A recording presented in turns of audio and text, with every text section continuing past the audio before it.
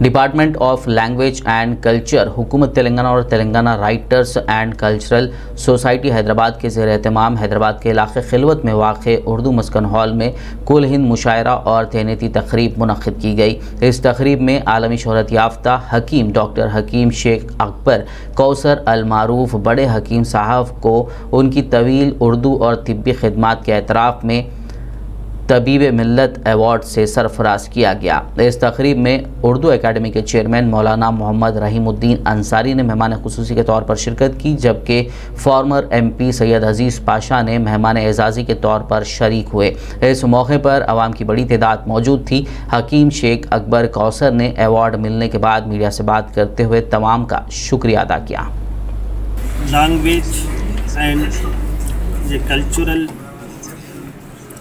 حکومت تلنگانہ اور writers and cultural society Hyderabad کا سے مشکور ہوں کہ یہ اتنا عالی شان ایک پروگرام ہمارے یونانی اور طب